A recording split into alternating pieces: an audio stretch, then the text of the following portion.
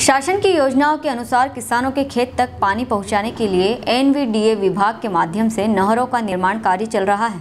ऐसे में खरगोन ज़िले में निर्माण एजेंसी की लापरवाही उजागर उस समय हुई है, जब कार्य कर रही सहयोगी कंपनी के पदाधिकारी जिला मुख्यालय पहुँचे और ज्ञापन सौंपकर आत्महत्या की बात कह डाली। दरअसल मामला आदिवासी बाहुल्य क्षेत्र भिकनगांव का है, जहाँ हैदराबाद की जीवीपीआर कंपनी सहयोग कंपनियों की मदद से पाइपलाइन डाल रही है। इस कार्य को अप्रैल 2021 तक पूरा करना है, जबकि ढाई साल बीतने के बाद 10 प्रतिशत प्रोग्रेस रिपोर्ट लेकर कंपनी मनमानी कर रही है। आर्थिक तंगी के दौर से गुजरती सहयोगी एजेंसी के पदाधिकारी जिला कलेक्टर कार्यालय पहुँचे और संयुक्त कलेक्टर को ज्ञापन सौंपा। खरगोन से अजय तिवारी की रिपोर्ट। शिकायत है, हमने जनवरी में काम किया था, जीपीआर कंपनी में, हम सारे कॉन्ट्रैक्टर हैं, और हमारा करीबन ढाई करोड़ के आसपास भुगतान निकल रहा है, और आज दिनांक तक हमको आश्वासन देते रहे हैं कि आपका काम बस अभी दो महीने में आपका पेमेंट कराते हैं। पहले हमारे क्या एग्रीमेंट में ये क्लियर था कि ग्रेटिंग और पेंटिंग दोनों आपको करना है तो बोला, और पेंट जब जबकि कंपनी देगी। हम लोगों ने कहा, हम लोग पेंट लाते हैं। तो उन्होंने मना कर दिया।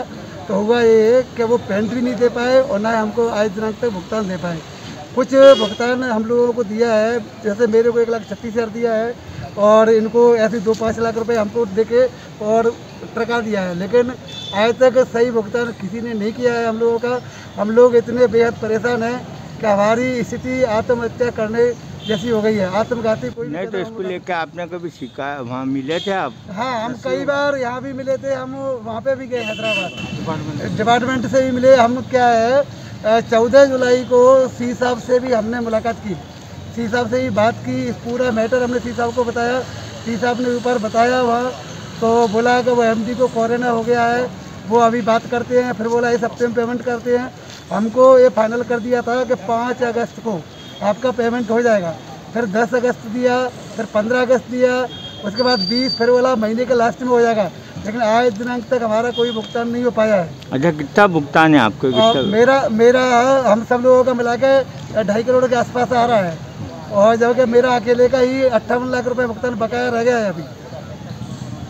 अब क्या चाहते हैं आप लोग? अब हमें माननीय जी से ये चाहते हैं कि हमारी अ, समस्या का समाधान जल्द से जल्द हो जाए और हमारा जल्द से जल्द भुगतान हो जाए और यदि भुगतान हमारा नहीं होता है तो हम आत्मघाती कदम उठाने के लिए तैयार हैं।